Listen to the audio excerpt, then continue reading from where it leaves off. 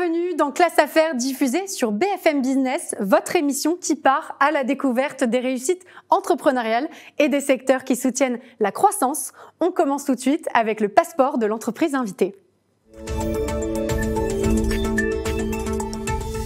L'entreprise sur laquelle nous allons nous pencher aujourd'hui, c'est Amaris Consulting, une société indépendante de conseil en technologie qui offre des conseils et des solutions aux entreprises. L'une des spécialités d'Amaris Consulting, c'est la branche EMA pour Health Economic and Market Access, qui renvoie à l'économie de la santé et à l'accès au marché. Et pour en parler, je vous propose d'accueillir notre invité du jour.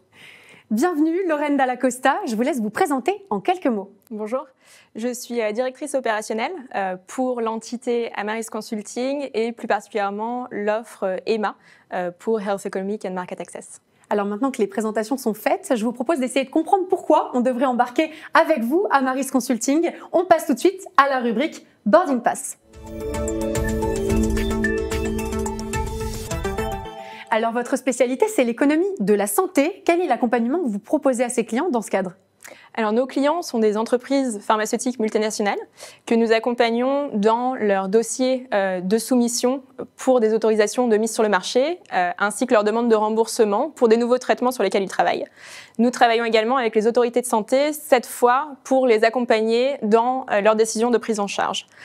Ça passe par des évaluations médico-économiques, des modèles statistiques, ainsi que des revues et synthèses de preuves, aussi bien au niveau global que national. Donc notre équipe, c'est finalement 70 talents basés sur trois continents et 8 pays, dont la France. Et justement, dans le cadre des dossiers que vous traitez, vous commencez par collecter un certain nombre de données que vous analysez. Vous analysez notamment l'air thérapeutique des maladies et des traitements. Et ensuite, qu'est-ce qui se passe? Vous modélisez les résultats que vous avez trouvés? Oui, c'est ça. Donc finalement, euh, selon la question de recherche, on va d'abord faire un état des lieux exhaustif des données publiques disponibles et relatives à la maladie, aux traitements déjà existants, ainsi qu'au poids que la maladie continue de constituer euh, aujourd'hui dans l'état actuel des choses. Euh, ensuite, ce sont des informations qu'on va modéliser pour finalement en faire des outils d'accompagnement à la décision pour nos clients. Et même parfois, ces éléments vont directement être intégrés au dossier de demande d'autorisation que nos clients vont ensuite soumettre aux autorités sanitaires locales. Afin de les légitimer également, j'imagine. C'est ça. Et en plus de ces activités, vous intervenez sur des projets innovants. On va s'arrêter sur un de ces projets relatif à une maladie neurologique. Comment est-ce que vous avez travaillé? Oui, donc pour ce projet en particulier, notre client souhaitait comprendre quelle était la, réalité et finalement euh, le stigma social autour euh, de cette maladie neurologique qui induit un trouble du mouvement, euh, que ce soit pour les patients, mais également pour le personnel soignant. donc finalement, comprendre quels étaient leurs sentiments aujourd'hui. Donc on s'est appuyé sur nos compétences médico-économiques, mais également sur les compétences technologiques d'autres départements d'Amaris, notamment en termes de data science et d'intelligence artificielle. Donc finalement, ça a pris la forme d'une veille sur un peu plus de 10 réseaux sociaux euh, différents, tels que Facebook, Twitter, euh, afin de comprendre quelles étaient les opinions euh, des patients et du personnel soignant vis-à-vis de cette maladie et de ce trouble particulier, pour finalement comprendre quel était aujourd'hui encore le poids de la maladie vécue et subie par ces patients. donc nous avons finalement fait un protocole de recherche, on a pu récolter trier et anonymiser un certain nombre de données euh, pour finalement les analyser et les restituer à notre client. Et justement, quels ont été les résultats de ce travail de veille, d'analyse, mais aussi de modélisation?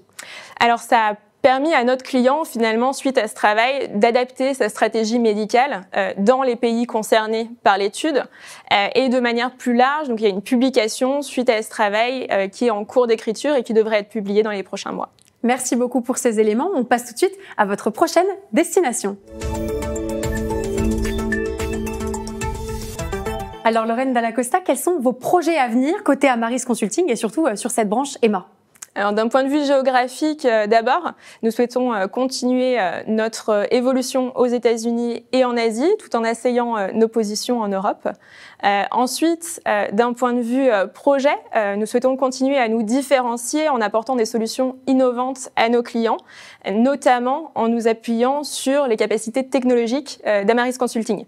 Et finalement, c'est avoir continuer à avoir ce partenariat avec nos clients, nous appuyer sur nos compétences et nos expertises respectives afin ensemble d'atteindre un objectif commun qui est finalement d'avoir un impact positif et de changer positivement le domaine de la santé. Eh bien, on vous souhaite euh, de tout cœur d'atteindre cet objectif. Merci Lorraine Dallacosta.